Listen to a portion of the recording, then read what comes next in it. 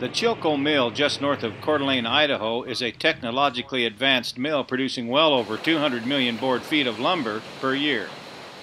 It's one busy place, as a group of Kentucky and Idaho Farm Bureau officials found out on a recent tour. Alan Harper, Chilco Resource Officer, explains the first step arriving logs go through as they begin the milling process of logs to lumber. You've seen the trucks coming in from the woods. We unload the trucks with the logs. We'll roll them out. We count them, scale them, measure them so we can pay people for them. They get sorted by species and they get put away into the log decks. From there, we're taking them into the infeed of the sawmill. And um, at that point, they're, they're going in to uh, be scanned to turn into lumber.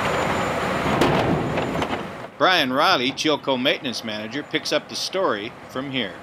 Once the log comes into the mill, based on the diameter of it, it goes either to the big side of our sawmill or to the small side. Uh, our small side will go up to a 14 and a half inch diameter. Anything above that automatically defaults to the large side.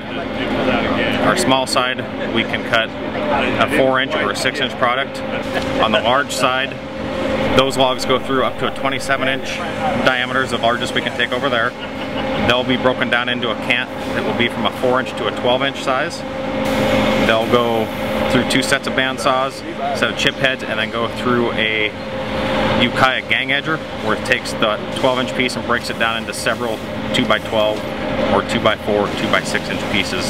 From there, it goes into some trimmers. They trim it back to length or they send it back through the process to be broken down further into the smaller dimensions and then out to a, a stacker where it's stacked uh, with airspace that then goes to a dry kiln where it's dried to a, a certain moisture and it goes into our planer to get the finished the finish put on it that it needs to go out to our customers.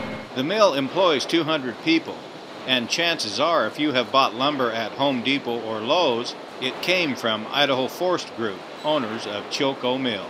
With the Idaho Farm Bureau, the voice of Idaho agriculture, I'm Steve Ritter.